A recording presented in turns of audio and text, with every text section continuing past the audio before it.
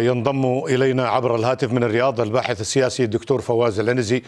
دكتور فواز دعنا نبدأ من حديث زميلنا مراسل الإخبارية في واشنطن أحمد القرني حول هذه الازدواجية في قراءة الإعلام الغربي والأمريكي بالتحديد لهذين الحدثين.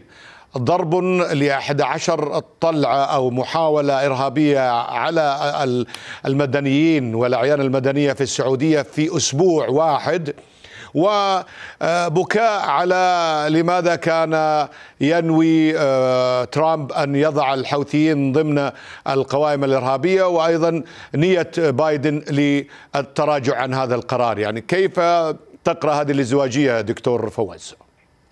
شكرا في البداية وأسأل الله سبحانه وتعالى أن يحمي بلاد الحرمين الشريفين وأن يحمي قيادتنا وأيضا شعوبنا والشعب العربي والإسلامي عامة.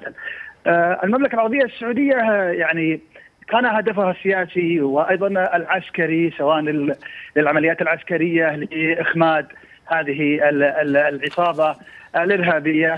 وأيضا لحوازيها جانب كبير جدا من العمليات الإنسانية في عمليات إعمار وتنمية اليمن وأيضا مساعدة اليمني الشقيق العربي.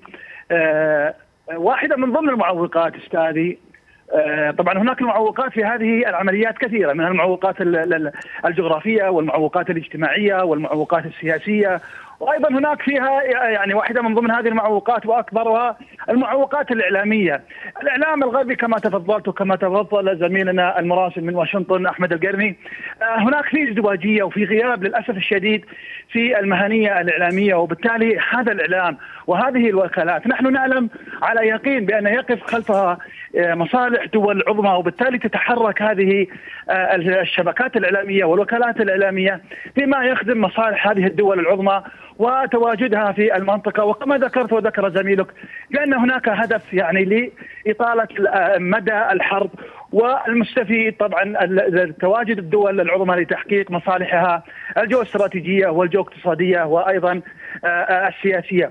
والمتضرر هنا يأتي في في المقدمة الشقيق والأخ اليمني الذي عانى من هذه الحروب وذلك بدعم من طهران وأيضا تنفيذا من الجماعة الحوثية المنقلبة على دكتور الشرعية. دكتور فواز يعني في عجالة فقط لأنه اقتربت النشرة الإخبارية من نهايتها لكن دكتور في عجالة يعني هل نستطيع أن نربط بين التحولات الجيوسياسية التي تحاول أن تشير إليها الحكومة الأمريكية الجديدة والرئيس الجديد وهذه النزعة العدوانية العدائية نعم في نعم في في في اليمن وعند الحوثيين بضرب المدنيين في أبها وفي خميس مشيط السياسة السياسة والإستراتيجية الجديدة لبايدن في في حرب اليمن.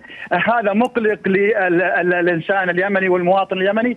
سوف يجعل ملف اليمن من ضمن إطار ملفات كثيرة تضغط بها حكومة والحكومة الولايات المتحدة الأمريكية على إيران وأيضا تدخله مع الملف الملف النووي. وبالتالي سوف يكون هناك تقويض لعمليات السلام الدائمة وأيضا الشاملة يجب أن يفصل ملف الملف اليمني عن الضغط على إيران ومصالح إيران ومكاسب طيب. إيران في المنطقة العربية